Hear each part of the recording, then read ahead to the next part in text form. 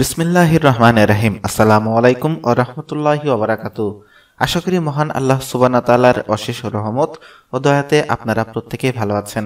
সুপ্রিয় সম্মানিত দর্শক ও শ্রোতামণ্ডলী, আমাদের কাছে অনেকে প্রায় সময় একটা বিষয়ে বলে থাকেন যে, তাদের সংসারে অশান্তি লেগে থাকে, স্বামী স্ত্রীর মাঝে বনিবনা হচ্ছে না।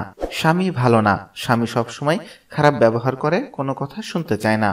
সেই বোনদের প্রশ্ন হলো, তারা কোন আমল করলে স্বামী তাদের কথা শুনবেন বা স্বামী তাকে বেশি বেশি ভালোবাসবেন?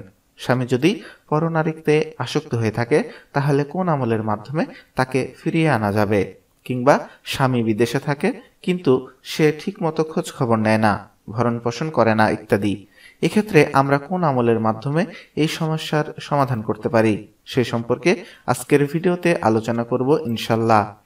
অত্যন্ত কার্যকরী, সুন্দর ও চমৎকার একটি আমল। এই আমলের মাধ্যমে আপনার স্বামী আপনার সব কথা শুনবে, অন্য মহিলার প্রতি আকৃষ্ট কিংবা আসক্ত হবে না।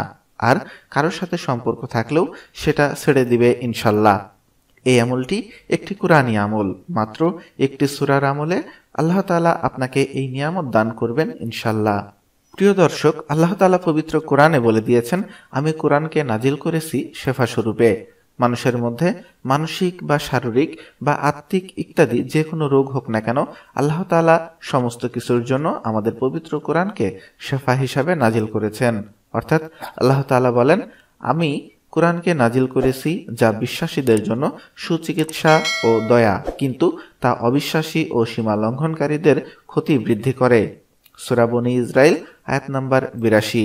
তাই পবিত্র কোরআনের শিফা গ্রহণে খুবই সতর্ক থাকতে হবে। সতর্কতা এই অর্থে এর আমলের প্রতি পরিপূর্ণ বিশ্বাস স্থাপন করে আমল করতে হবে। মনের মধ্যে যদি এমন কোনো চিন্তা থাকে যে, আমল কাজ করলে করবে, না করলে নয়, একবার চেষ্টা করে দেখি। কিংবা, কত আমলই তো করেছি, কোনো তো লাভ হয়নি। কিংবা, যদি এমন কথা বলা হয় যে, আল্লাহ তো আমার কোনো কথাই শুনে না, ইত্যাদি। এরূপ সন্দেহ মন নিয়ে আমল করার চেয়ে না করাই ভালো। একটা কথা মনে রাখবেন, সকল দুশ্চিন্তা, বিপদ, মুসিবত বেশিরভাগই বান্দার জন্য পরীক্ষা হয়ে থাকে।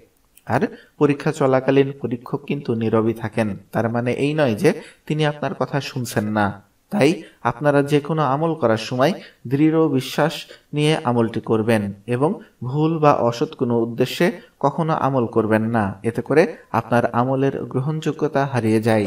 তো প্রিয় দর্শক, আমলটি যেভাবে করবেন, সেটি হলো আপনি এশার নামাজের পরে অজু অবস্থায় নামাজের স্থানে বসেই আপনি প্রথমে যে কোনো দুরুদ শরীফ কয়েকবার পড়ে নেবেন। সেটা তিনবার বা পাঁচবার হতে পারে। তারপর সুরাই ক্লাস সত্তর বার পড়বেন, তারপর আবার কয়েকবার দুরুদ শরীফ পড়ে নেবেন। এটা দুরুদ ইব্রাহিম হতে পারে অথবা যে কোনো দুরুদই হতে পারে। এই আমলটি করে মোনাজাত তুলে আপনি আপনার স্বামীর হেদায়তের জন্য আল্লাহর নিকট দোয়া করবেন। স্বামীর মনে যেন আপনার জন্য মহাব্বত সৃষ্টি হয়, সে কথা আল্লাহকে জানাবেন এবং আল্লাহর কাছে সাহায্য চাওয়ার সময় চোখের দুপোটা পানি ছেড়ে দিবেন, অন্তর নরম করে আল্লাহর কাছে দোয়া করবেন, তারপর রাতে ঘুমিয়ে পড়বেন।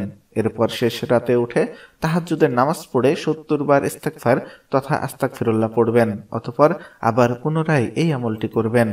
অর্থাৎ যে কোনো দুরুদ পড়ে সত্তর বার সোরা এক্লাস পড়বেন এবং আবার দুরুদ পড়া শেষে মোনাজাত তুলে আল্লাহর কাছে কান্নাকাটি করবেন।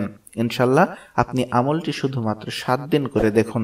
ফলাফল অবশ্যই পাবেন ইনশাল্লাহ তবে আমলটি সাত দিন করার পরেও প্রতিদিন যে কোনো সময় সত্তর বার থেকে একশো বার ইস্তেকফার পড়বেন তথা আস্তাক ফিরুল্লাহ পড়বেন।